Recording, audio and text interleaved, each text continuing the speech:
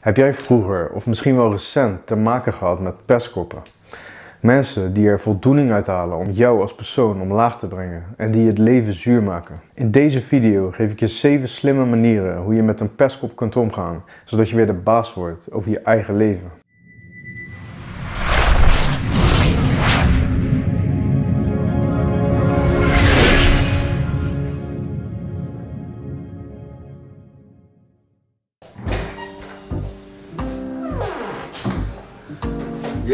Daar is hij, de grote stumper van het dorp.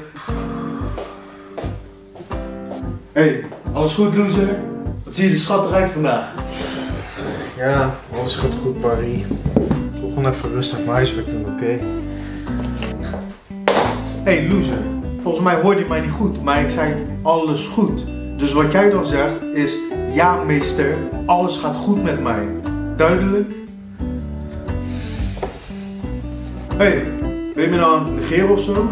Is niet zo netjes van jou, hè?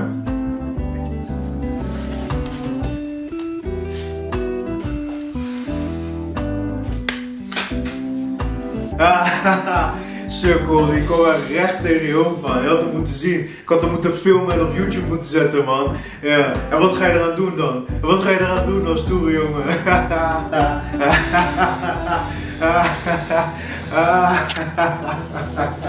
Oh, wat een loser ben jij. Kijk er nou zitten, jongen, die spoor.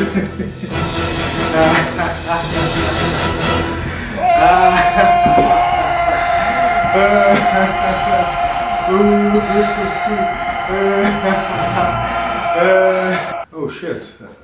Kerel, relax man. Ik, ik, ik maar een geintje. Eh, ik, ik ga alweer daar zitten, oké? Sorry man, relax. Hey mensen, mijn naam is Mike Ranji en welkom op mijn kanaal waar alles draait om het worden van de beste versie van jezelf. Pestkoppen. Je vindt ze overal. Een hoop mensen denken dat pestkoppen alleen bestaan als je net in de brugklas komt. Maar pestkoppen vind je op je werk, bij je sportclub, in je familie en het kan zelfs gaan om je eigen broers, zussen of je partner. Ze komen ook in verschillende gradaties. Sommige pestkoppen zijn erg fysiek en andere doen het subtieler en raak je meer emotioneel en geestelijk. Wat het geval ook is, ik denk dat je het met me eens bent dat het leven te kort is om het te laten vergallen door een of andere pestkop. Dus in deze video geef ik je 7 slimme manieren hoe je kunt omgaan met een pestkop, zodat je niet meer hoeft te laten manipuleren en je weer de baas wordt over je eigen leven. Nummer 1. Snap waar ze vandaan komen. Voordat je een stap zet om tegen een pestkop in te gaan, kan het helpen om te realiseren waarom een pestkop in de eerste plaats pest. Er is een geweldige quote die gaat: Hurt people, hurt people. Vertaald naar het Nederlands betekent dat gepijnigde mensen pijnigen mensen. Een zelfverzekerd persoon die gelukkig en liefdevol is, zal nooit een ander pijnigen, omdat deze handelingen simpelweg niet resoneren met dat type persoon. De persoon die pest krijgt een bevrediging ervan om de ander omlaag te brengen en pijn en onzekerheid te laten ervaren, die de pestkop diep van binnen zelf ervaart of in het verleden ervaard heeft. Veel pestkoppen hebben een traumatisch verleden met lichamelijke of geestelijke mishandeling, een tekort aan liefde of aandacht. Of ze zijn simpelweg bij een geboorte op hun hoofd gevallen. Wanneer je realiseert dat de pestkop eigenlijk iemand is die veel pijn aangedaan is, kun je misschien wat meer compassie voor de persoon hebben. Zie de pestkop als een klein kind wat snakt naar liefde en zich niet kan uiten. Nummer 2. Werk aan je zelfvertrouwen. Ik wou dat ik je wat simpele ninja trucs kon geven hoe je een pestkop de baas kan zijn. Maar als het zo makkelijk was, dan kwam pesten niet zo vaak voor. Om een pestkop de baas te zijn, zul je aan je eigen zelfvertrouwen moeten werken. Wanneer je zekerder over jezelf wordt, zal dat overkomen naar de pestkop. Pestkoppen hebben allemaal één ding gemeen. Ze zullen nooit iemand pesten die meer zelfvertrouwen heeft of sterker is of lijkt dan zijzelf. Aan je zelfvertrouwen werken kun je op verschillende manieren doen. Het feit dat je deze video bekijkt is al een manier van aan je zelfvertrouwen werken. Want ik doe mijn best om jou de informatie te geven die jou uitrust in het leven tegen pestkoppen. Naast de tips die ik je in deze video ga geven, is het ook heel krachtig om je fysieke prestaties te verbeteren. Wanneer je zelfverzekerd bent over je fysiek, zul je mentaal ook meer zelfverzekerd worden.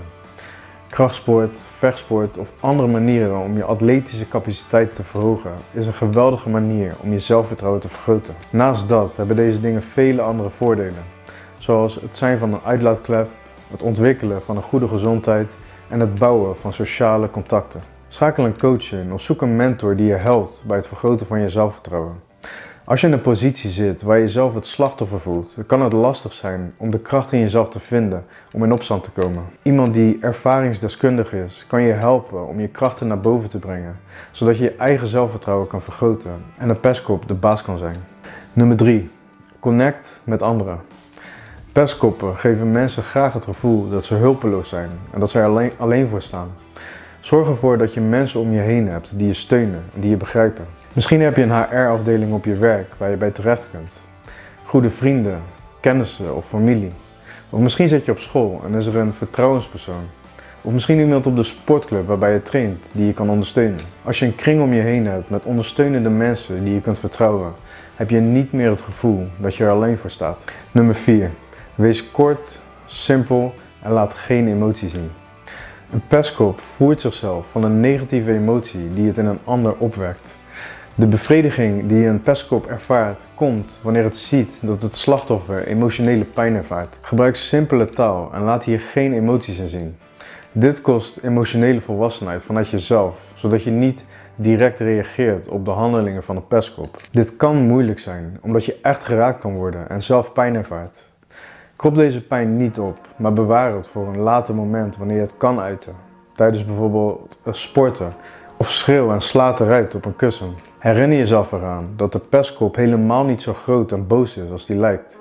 Zie het als een schaap in wolfskleren en probeer er zo min mogelijk op te reageren. Wanneer een pestkop ziet dat het pesten geen effect en invloed op je heeft, is er geen bevrediging meer en zal de pestkop misschien de interesse in je verliezen. Het kan ook gebeuren dat de pestkop juist blijft treiteren omdat deze zich ongehoord voelt.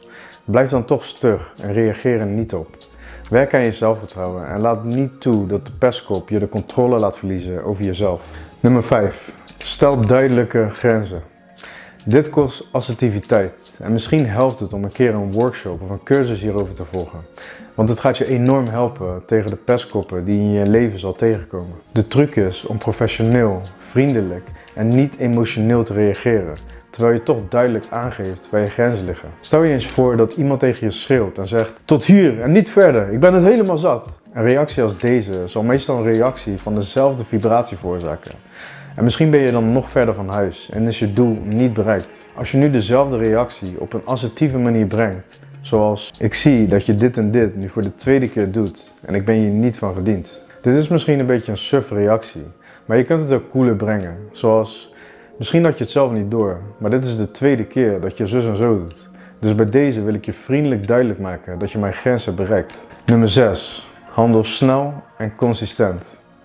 Hoe langer een pestkop de controle over je heeft, hoe meer vat hij op je krijgt. Een pestkop is als een parasiet. Het pesten kan beginnen in een milde vorm, maar naarmate de tijd vordert, kan een pestkop steeds verder gaan, waardoor het pesten zwaardere vormen kan gaan aannemen. Als je doorhebt dat iemand uit is op pestgedrag, laat het dan niet doorgaan zonder actie te ondernemen. Ga zo snel mogelijk over tot actie door deze tips te gebruiken of hulp in te schakelen. Wees ook consistent met je actie. Blijf bezig om in opstand te komen. En met opstand bedoel ik niet met een fakkel en een speer achter de pestkop aangaan, maar proactief werk doen wat de pestkop uit zijn machtspositie haalt. Nummer 7. Laat de pestkop zijn eigen graf graven. Soms is het voldoende om gewoon even af te wachten terwijl een pestkop zijn daden uitvoert. Terwijl een pestkop bezig is met zijn praktijken, kun je een stapje terug doen.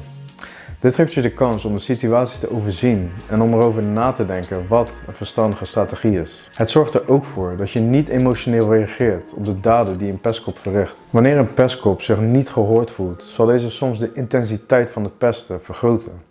En dit gedrag zal gezien en gehoord worden door anderen. Laat de pestkop zijn of haar gang gaan en de kans is groot dat deze zijn eigen ramen ingooit en bijvoorbeeld wordt geschorst, ontslagen zichzelf verschut zet of verwijderd wordt uit de omgeving waar jij ermee zit opgescheept. Dat waren dan 7 slimme manieren hoe je een pestkop de baas kan worden. Pesten is iets wat meer voorkomt dan we denken. En op plaatsen waar je het misschien niet eens zou verwachten. Zoals in relaties, communities, scholen en je werkomgeving. Pesten kan ernstige emotionele schade aanrichten. Wat kan resulteren in een leven van depressie en angsten. En dat kan zelfs personen ertoe bewegen om hun eigen leven te nemen. Een pestkop kiest er zelf ook niet bewust voor om te pesten. Meestal hebben ze zelf traumatische ervaringen gehad en hebben geen emotionele vaardigheden, als empathie, compassie en zelfbewustzijn. Dus het is ook niet nodig om een pestkop in elkaar te slaan of te mishandelen. Ook al is het wel een optie. Maar probeer een pestkop ook te begrijpen door op zijn of haar niveau te komen. Dat zal je helpen om een effectieve manier te vinden hoe je ermee om kunt gaan. Laat me weten in de comments wat jouw ervaring is met pesten. Vond je de video leuk of behulpzaam? Scroll dan even naar beneden en klik op die like knop. Je helpt mijn kanaal enorm mee en YouTube zal deze video dan vaker laten zien aan de mensen die geholpen zijn met deze informatie. Vind je onderwerpen als deze interessant? Klik dan hier links op mijn hoofd om je te abonneren op mijn kanaal, zodat je geen van mijn video's mist. Mensen, zorg goed voor jezelf en de mensen om je heen. Wees de beste versie van jezelf elke dag en ik zie je de volgende keer.